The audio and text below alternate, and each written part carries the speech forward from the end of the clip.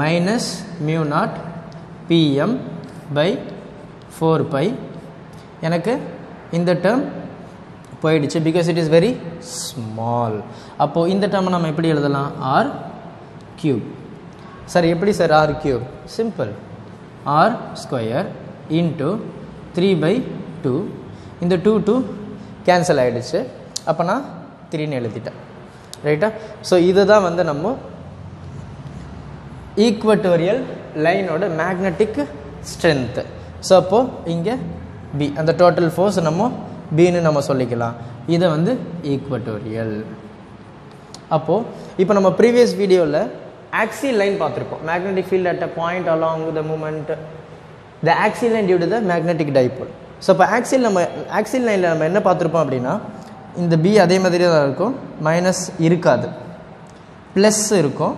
எனக்கு two mu naught PM by four pi R கியூப்னு இருக்கும். So நமக்கு ஈக்குவட்டோரியலுக்கும் ஆக்சியலுக்கும் என்ன டிஃப்ரெண்ட் அப்படின்னா எனக்கு ஆக்சியல் வந்து பாசிட்டிவாக இருக்கும். எனக்கு ஈக்குவட்டோரியல் நெகட்டிவ் ஸோ ஆக்சியல் வந்து பாசிட்டிவ் அதே மாதிரி எனக்கு ஆக்சியல் வந்து டூ டைம்ஸ் பிக்கர் அதாவது சார்ஜில் எனக்கு டூ டைம்ஸ் இதை விட ட்வைஸ் வந்து அது அதிகம். அதோட ஃபார்முலா என்ன இருக்கும் அப்படின்னா நமக்கு சேம் தான். B which is equal to plus term mu naught PM by four pi R cube நான் சொல்லியிருக்கேன் டூ டைம்ஸ் பிக்கர் அப்போது இப்படி வந்திருக்கும். ஸோ இது வந்து ஆக்சியம் அப்போ நீங்கள் இதை பார்த்தாவே உங்களுக்கு தெரியும். இங்கே எனக்கு டூ இருக்கா?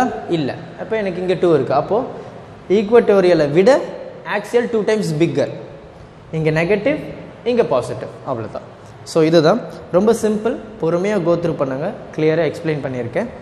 So equatorial line due to magnetic dipole அவ்வளோதான் thank you help others with a smile